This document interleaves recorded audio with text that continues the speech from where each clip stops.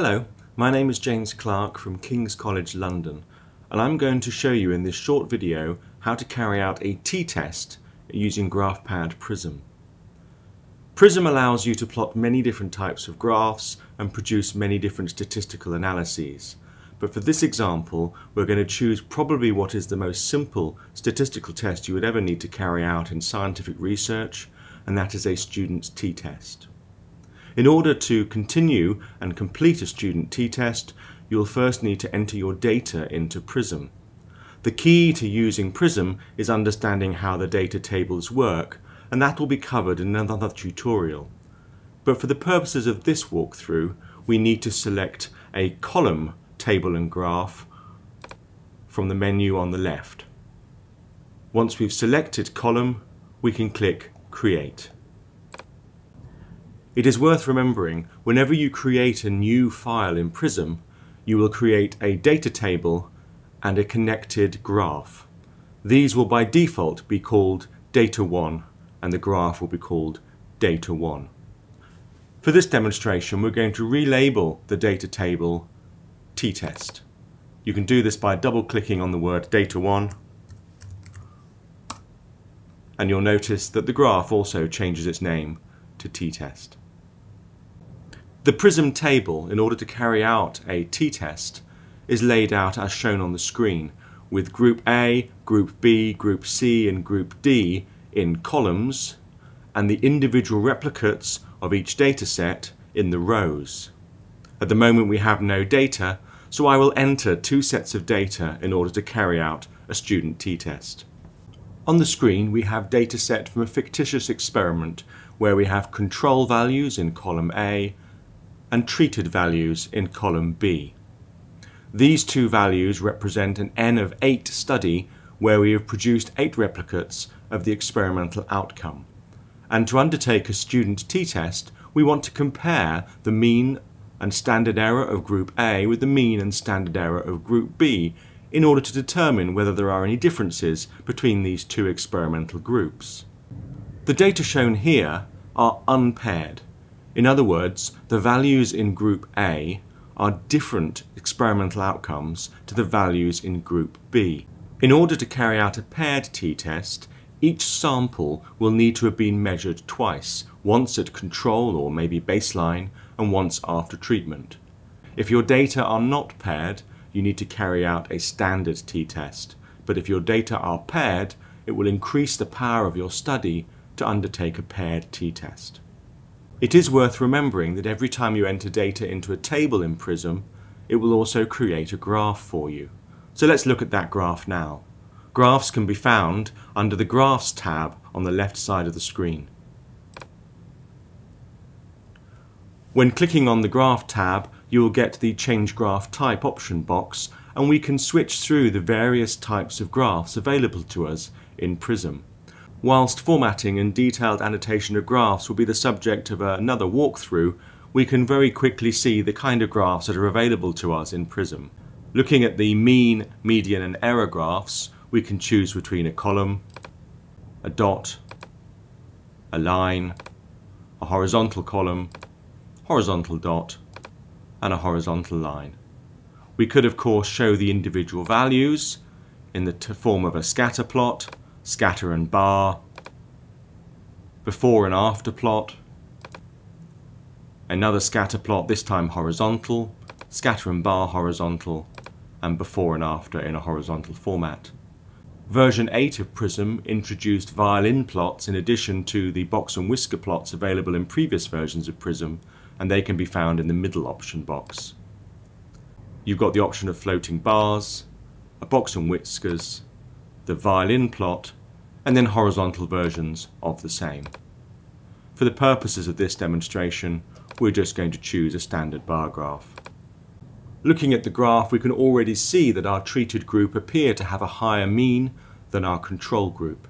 But in order to test this statistically, we'll undertake our t-test. Carrying out statistical tests in PRISM is very easy. You've got two options. The first option is either on the graph or the table you can use the Analyze button on the menu. In addition, you can click on the New Analysis button in the Results section. For the purposes of this, I'm going to go to the raw data table and click on the Analyze button. When you click on the Analyze button, an Analyze Data option window appears and you can choose from a selection of statistical tests. For the purposes of this, we want to do a t-test. So we look down to the column analyses and click on the first option, which is t-test. On the right side of the window, we are asked to choose which datasets we wish to analyze. And you can see here, we've already selected by default the control and treated groups. It's worth remembering that a t-test only allows the testing between two groups. Once we've selected our two groups, we can click on the OK button. Now we have a series of options to choose from in order to undertake the correct test. As discussed previously, these data are unpaired, and you can see from the figure that we are comparing the means of Group A with the means of Group B, the control and treated groups. If we were to select paired from the option, you can see the figure now shows us that we are directly comparing the data values from Group A and Group B using a paired t-test. Of course, these data, as I said, are unpaired, so we'll return to the unpaired t-test. We will assume our data has Gaussian distribution and choose yes from the next choice.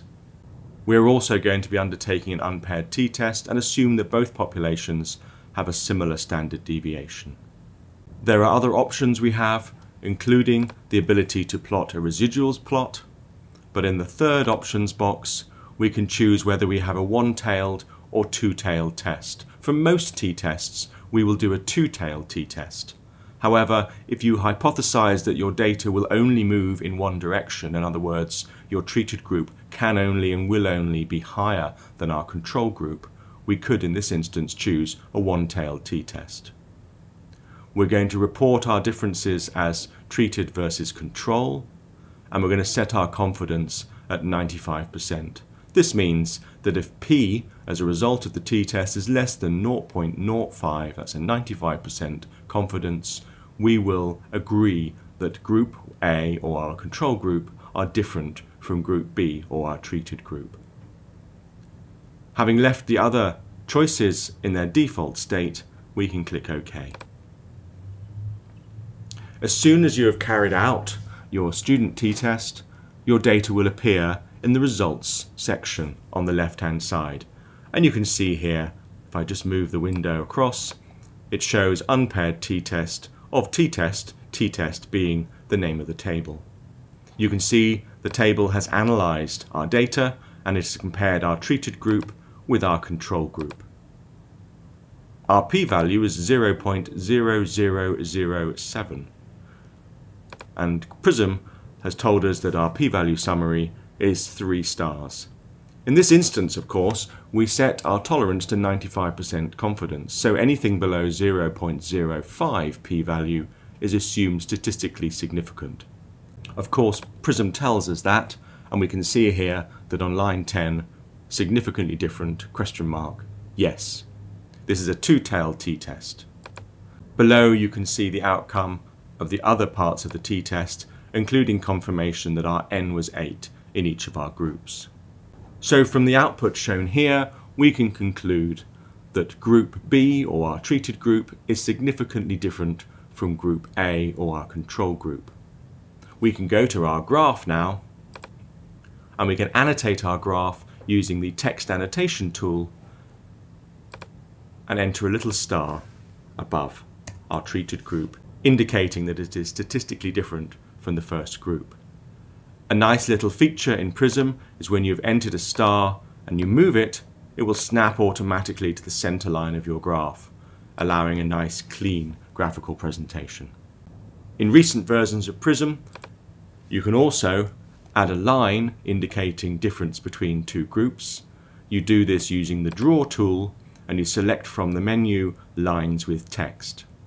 I can click on line with text, draw a line over the top of my group and put a star on indicating significant difference between these two groups. So that is a simple t-test unpaired between two groups of data in GraphPad Prism.